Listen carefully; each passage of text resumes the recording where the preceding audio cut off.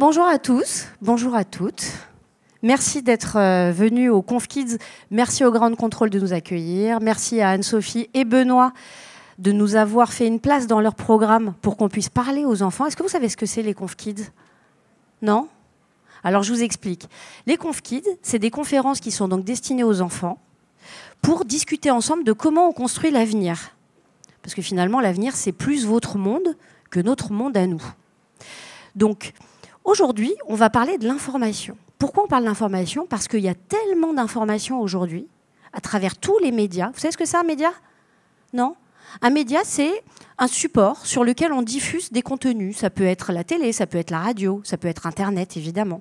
Et aujourd'hui, il y a tellement, tellement de contenus, tellement d'informations, qu'une des questions qu'il faut se poser pour l'avenir, c'est comment on trie cette information? Comment on essaye de trouver ce qui est juste, pas juste, ce qui est vrai, pas vrai, ce qui est intéressant, ce qui ne l'est pas aussi. Et donc on va parler de ça aujourd'hui.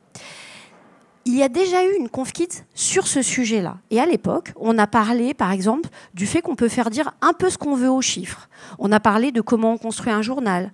On a parlé de comment on construit un reportage. On a parlé du journalisme de solution. Le journalisme de solution, c'est un journalisme qui donne que des bonnes nouvelles.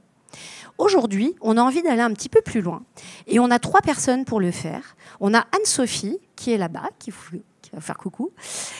On a Benoît, qui n'est pas encore arrivé, mais qui ne va pas tarder. Et on a Mariette. Alors, Anne-Sophie, elle, elle va nous parler du métier de journaliste. Elle va vous expliquer ce que c'est qu'être journaliste.